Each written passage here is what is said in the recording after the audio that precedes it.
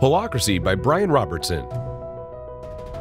The new management system that made headline news when Zappos asked that all its employees follow the system or take a pay to resign, and 14% of the employees took the option to leave. The holacracy structure resembles how nature organizes systems like the human body, where cells function autonomously within organs, which in turn function autonomously within the body. The impetus behind holacracy. The main idea behind this new system is that today's companies have to survive in an increasingly complex and dynamic environment that requires an equally dynamic organizational structure in order to properly address new challenges and opportunities. The solution germinated from the observation that humans have a unique ability to sense tension within an organization, which is defined as recognizing the gap of what currently exists and what could be the current reality, and the sensed potential. Why should you care? Holacracy is a system that aims to make companies evolutionary by capitalizing on this unique ability that we have. By doing away with the concept of manager, it effectively breaks down communication and collaboration barriers formed by traditional siloed pyramid org structures. Managers like the new system because they don't have to spend their entire day solving everyone's problems. And employees like it because they feel truly empowered to act on tensions, problems, and opportunities that they recognize.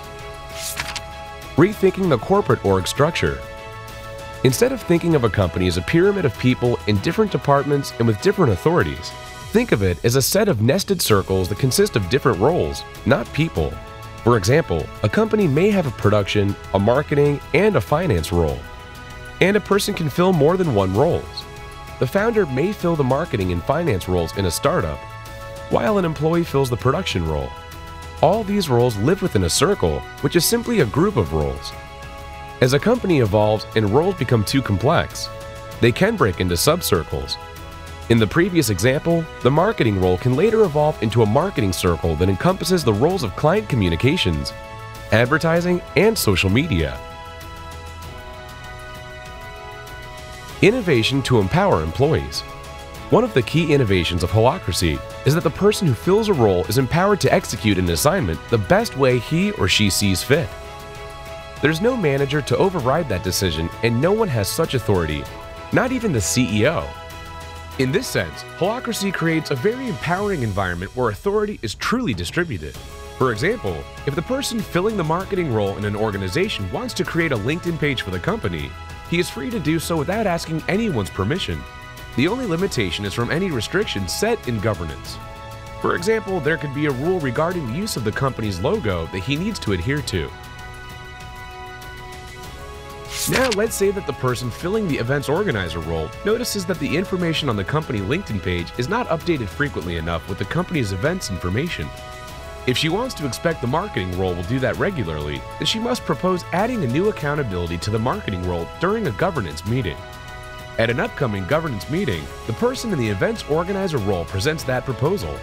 After a structured process involving some clarification and reactions, the meeting moves on to the objections round, where the marketing person says he can't post about events because he doesn't have the clear information on when they're scheduled. They amend the proposal to also make the event's organizer role accountable for publishing a calendar of events. Once there are no more objections, the proposal gets adopted.